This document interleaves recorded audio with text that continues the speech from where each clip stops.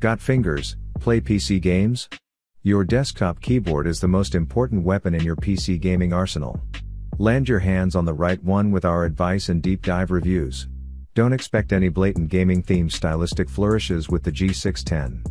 This keyboard is built to look utilitarian, with a rectangular shape and few extra features or controls, it doesn't even have a USB hub. This doesn't mean the keyboard has no extras, they're just hidden from casual glances. The keys are all backlit by dimmable white LEDs, and when they aren't on the keys look completely normal. A set of playback controls, along with game, light, and mute buttons, sit on the upper right corner of the keyboard as flat, circular buttons that don't stand out. A wide volume wheel rests just above the playback controls, offering easy volume adjustment with a flick of the thumb. The wheel is so simple and accessible that I wish it could be programmed to perform other functions, too. I would have loved to see a toggle switch to let it work like a mouse scroll wheel. The keyboards completely lack any sort of wrist rest, but you get three height adjustments. A nested set of two pairs of flip-out feet on the back of each G610 can lift it up 4 or 8 degrees, depending on your tastes. The G610's lights might be white rather than multicolored, but you can still make some fun customizations to them through Logitech software, just as you can with the Logitech G910. While you can't change the colors, you can choose between various lighting effects like a slow wave of light across the keys, random star-like twinkling, and lighting individual keys and zones. You can also synchronize the lighting patterns with other Logitech G series devices, like mice and headsets. The Strix Scope TKL cuts the standard 104 key layout down to a more manageable 84 keys by dropping the number pad in the top row of system keys. That lets it shave down its frame to 1.63 by 14 by 5.3 inches and 1.8 pounds, which is enough to let players reap the benefits of having a smaller keyboard but isn't going to win any awards for efficiency, either. Despite the fact that it has a detachable, braided USB Type-C cable-minded compact keyboards, its size and shape aren't as well suited to frequent travel as the designs of other TKL keyboards. The small sacrifices in size and weight are concessions to the Strix Scope's strong sense of style. Like most gear in Asus Republic of Gamers line, the Scope has a loud look, full of color and contrast. The aluminum top plate has sharp, angled edges, and the black keycaps are bathed in RGB light.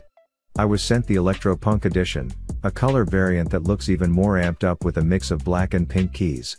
The ordinary version has straight black keycaps. Across the tapered bottom edge of the keyboard, an RGB bar illuminates your desk, creating a strong underglow effect. I would say it's worth that extra quarter of an inch of desk space if you like how it looks. Unlike the Ornata Chroma, it has 11 discrete media keys, sparing you the burden of holding down the FN key every time you want to pause your music. Positioned above the function keys rather than being layered over top of them, these can be used to control your background music, toggle your microphone, and even modify the lighting. Along its left side, are five macro keys that can be assigned to any function or combination of functions you can imagine. On the far right, there's a full-size number pad.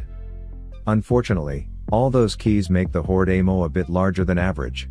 With its included plastic wrist rest attached, it measures 1.22 by 21 by 9 inches. By comparison, the Razer Ornata Chroma measures 1.2 by 18.2 by 6.1 inches, and the Logitech G213 Prodigy is 1.3 by 17.8 by 8.6 inches, including its integrated wrist rest. As we found out while using the keyboard during lunch, the Horde Amo's included plastic wrist rest is highly susceptible to fingerprints and smudges. It's also not particularly comfortable, especially compared with the Razer Ornata Chroma's cushioned wrist rest.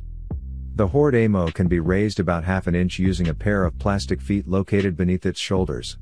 Like the Ornata Chroma and G213 Prodigy, it lacks support for USB pass-through, a function typically found on purebred mechanical keyboards.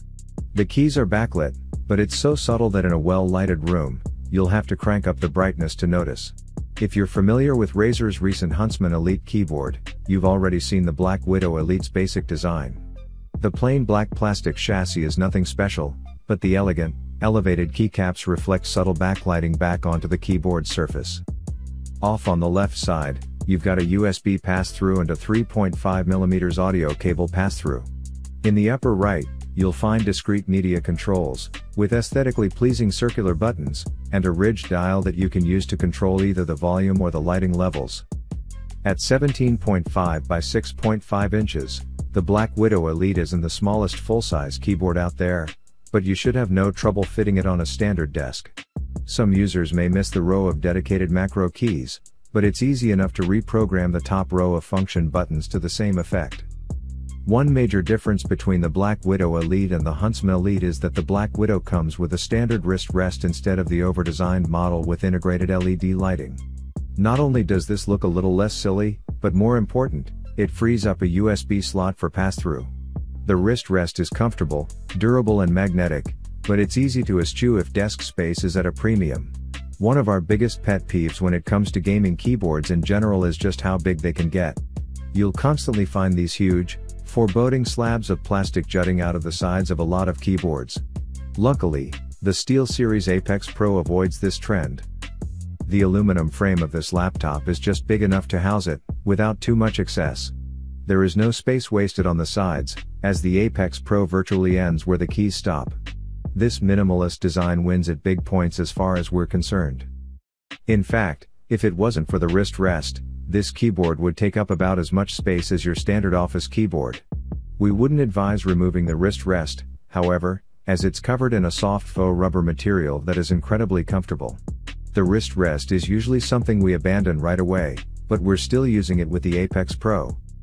The keycaps are elevated above the keyboard deck, giving the keyboard a very modern and clean aesthetic. And, while they are made of plastic, they still feel solid and premium. Above the number pad, you're going to find an OLED display, a volume wheel that you can click into mute, and a media key which will play slash pause your music by default. This OLED display will allow you to set a custom image, or even a GIF, further boosting the customization of this keyboard.